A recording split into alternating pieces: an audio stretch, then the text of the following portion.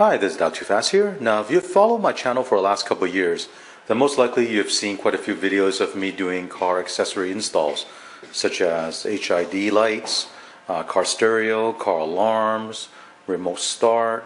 In those videos, I showed you the type of parts and the technique used to wire up your aftermarket parts to your vehicle. And recently I noticed I was running low on a lot of these connectors that I commonly used and I had to order some new ones. And after getting the new parts, I thought this would be a good time for me to do a video where I can show you all the stuff I use. And these things I'm about to show you are very, very common when it comes to doing any type of car installs. So if you want to get into doing your own installs, you might want to look into stocking up on these same parts. So let's first look at the crimp connectors that I always have on hand. Here in this storage bin, this is where I normally keep all my crimp connectors. And it's very convenient because I can close this up, lock it in place, take it with me, unlock it, and this opens up. Now, if some of you are interested in buying a storage bin like this, I am not sure if you can still buy it. This is made by Rubbermaid, and I got it probably about 17, 18 years ago uh, in Canada from a store called Canadian Tire. But I've not seen this in any retail stores anymore, so you might want to check online and see if they still sell it. Now let's talk about the various parts I have in these bins. At the very top, these three right here, these are all butt connectors. You'll notice that this is yellow, this is blue, and this is red. And the different color will represent different gauge of wires this will work for. So if you look at both sides, there's an opening here, and the butt connector is used for connecting two pieces of wire together. The yellow color is good for 10 to 12 gauge wires. The blue one here is good for 14 to 16 gauge wires. The red one here is good for 16 to 22 gauge wires. In this bin we have some fuses. These are used for installing car amplifiers. Here we have some ring terminals. These are for the 10 to 12 gauge wires. These are also for the 10 to 12 gauge wires, but the ring terminal is smaller in diameter. Over here, this one is the 14 to 16 gauge ring terminal. Here we have these connectors, which I'm not sure what the name is, but I bought these a long time ago. And what they're good for is if you have several ground wires or several power wires, that you want to connect together. You just have to feed into this end and then crimp it, and the other end is closed. It's insulated, but I haven't really used these too much. Over here we have some slide-on or push-on connectors. These are the female ones, and they're used for connecting to relay terminals, and I use a lot of these. Over here we have some self-tapping connectors, and as you can see they come in blue and also red. But I don't really use these anymore because sometimes they don't make a very good connection and they fail. So I think these ones have been sitting here for 10 plus years now. I should really throw it away. At the bottom here we have some self-tapping screws. So I have these long ones and also these shorter ones. The last bin here are just miscellaneous stuff that I've kept. Uh, some double-sided tape here, fuse.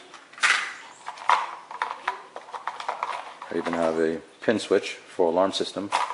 So the connectors that I was running low on were these two butt connectors, the blue and the red, and these push-on female connectors. And I got some new ones off eBay because they are cheap and sometimes they have free shipping. In this box, these are the new ones I got. Each of these bags uh, contain 100, so I have 300 right here of the blue butt connectors.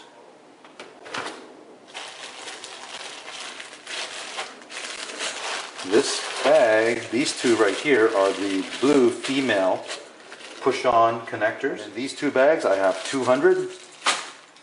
And here are the red butt connectors, but if you look at them, they are not red, they are purple.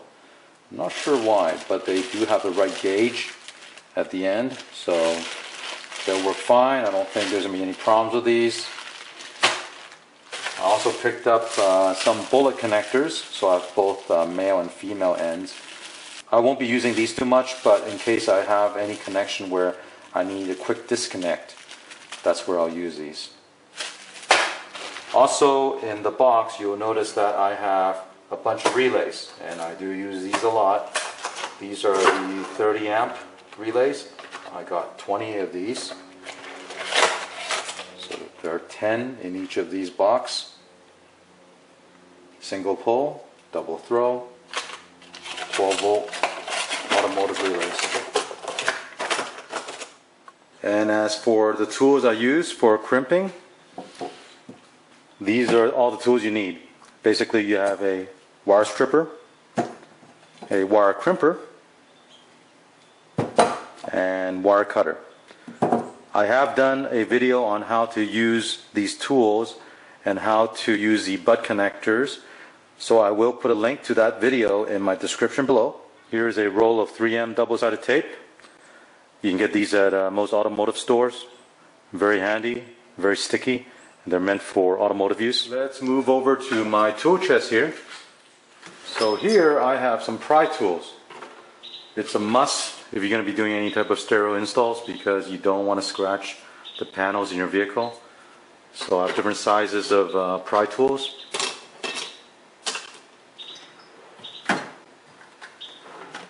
Here I have some additional fuses.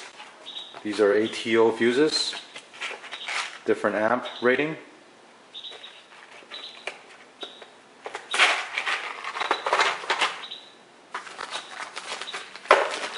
Over here, these are inline fuses. So if you're going to be adding any accessories to a vehicle and it requires you to bring in 12 volt from the battery, you definitely want to fuse that wire so you don't risk any electrical shorts. So let me open one up and I'll show you how these work.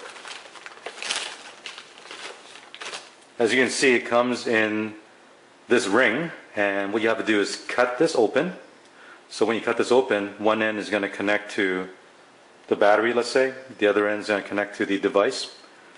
And over here, you install your fuse. I got these off eBay also. Here at the bench, I have a soldering iron, and this is a butane portable soldering iron. And it can come in handy if you're in a tight spot and you need to have something portable.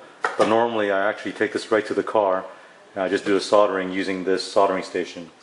And of course to do any type of electrical work in your vehicle, get yourself a decent multimeter. I did a couple of videos on showing people how to use a multimeter so I'll also put a link in my description so if you want to click on that. And this little circuit board here is some testing I'm doing right now for a timer that I'll add to my Wemo garage door opener. That will be in a different video. Hopefully I'll have it done in a couple of weeks. With any type of installs you do, of course, at the end you need to clean up the wiring, make sure that there are no loose wires hanging. So you're going to need to pick up some tie wraps. They come in different lengths. So here, this one is the 6 inch length. This is my favorite one. It's a perfect length to get in tight spots and be able to wrap up the wires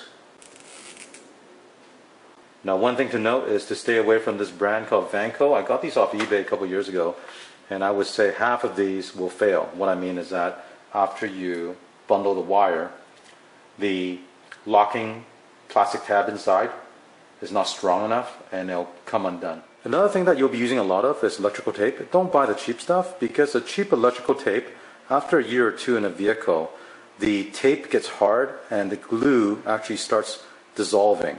And next thing you know, the whole tape will start unwinding and you might have an electrical short. So I like using this 3M Scotch Super 33.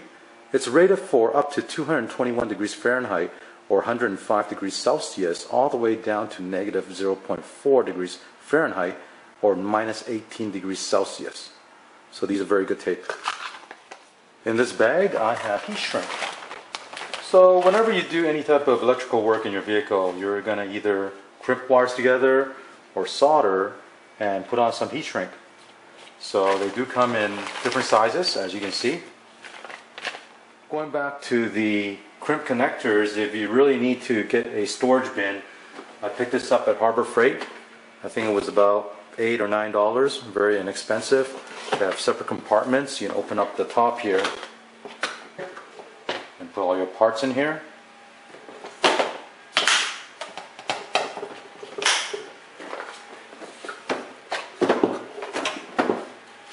So this video covers all the basic stuff that I think you need if you want to get into any type of installation in a vehicle. If you're going to be doing stereos or fog lights or any type of accessories you want to add, at least these are the parts that I've been using for the last 10 plus years to do all the installs that I've shown you in some of my other videos. Of course, if you have other ideas, feel free to leave a comment below. And I hope uh, you found this video helpful. If you have any questions, leave a comment below. And don't forget to click on the like and subscribe to my channel. Thank you.